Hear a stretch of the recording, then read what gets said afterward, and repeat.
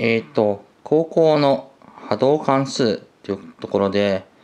高校の、高校物理の波動で登場する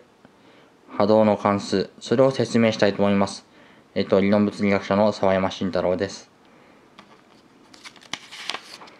で、波動関数ですが、高校物理で習う波動関数は以下の形をしていると。で、まあ、このような形ですね。で、これ実は以下の変微分方程式の解になっています。ちなみに v は速度であり、光の場合は c になりますと。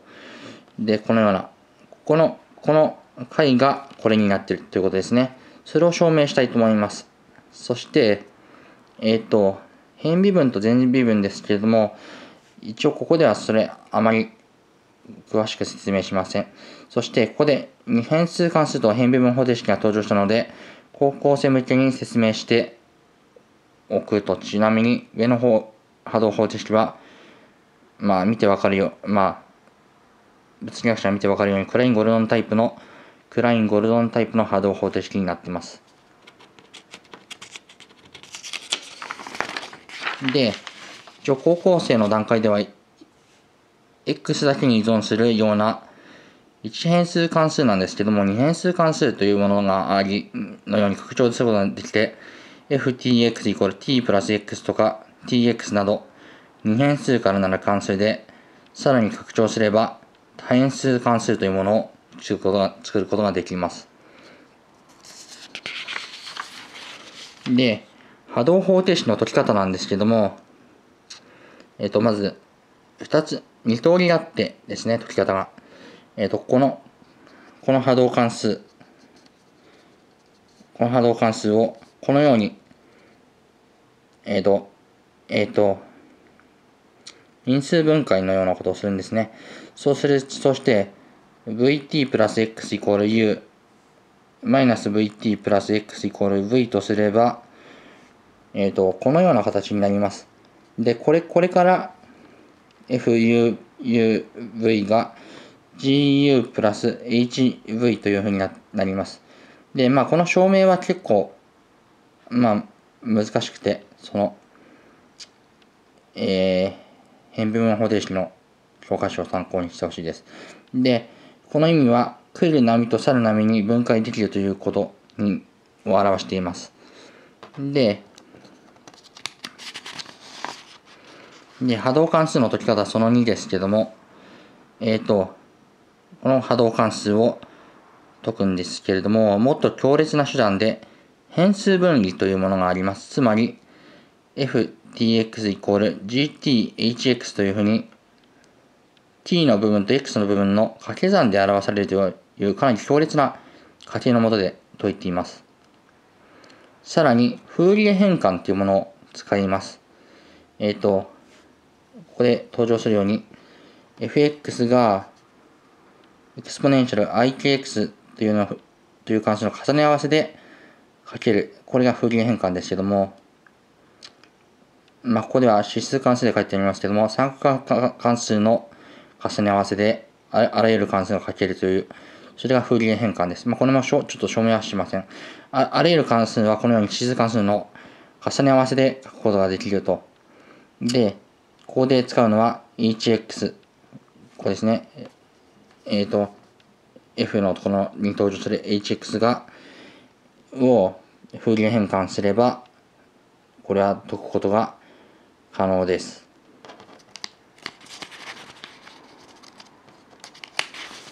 そして、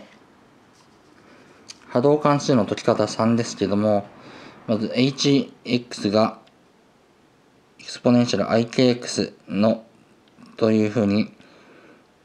なることと変数分離を使えばこの波動関数元の波動関数はこのようにこれで変数分離で書けますさらに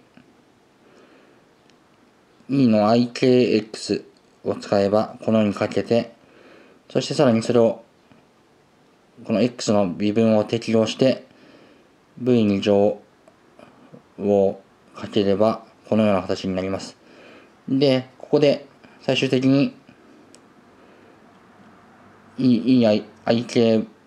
は取れるわけで、まあ、なくてもいいので、このこのような関数に、このような微分方程式になります。で、こここで、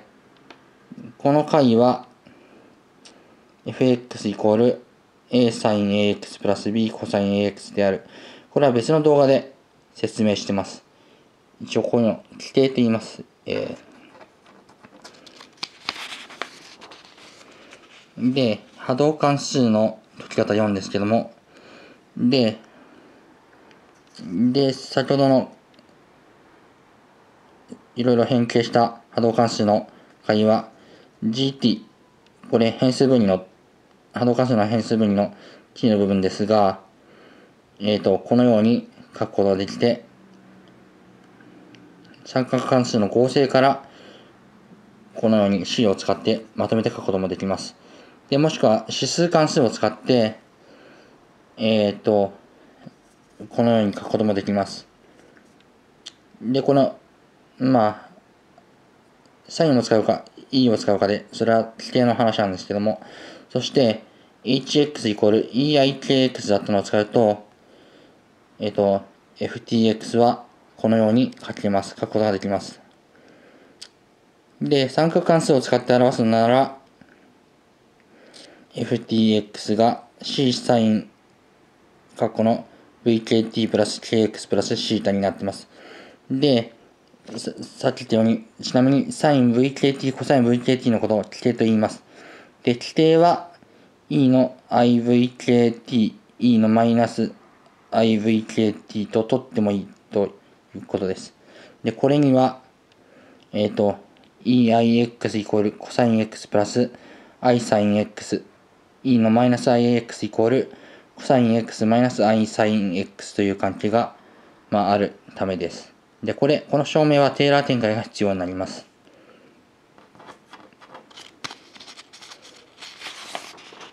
で、波動関数の解き方5ですが、えっと、kv イコールオメガイコール t 分の 2π、k イコールラムダ分の 2π とすると、まあ、一番初めに登場したように、このような、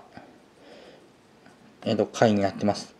なっていて、高校でなる波動波動関数になっていますと。で、ここでラムダは波長で t は周期です。で、オメガと k の定義から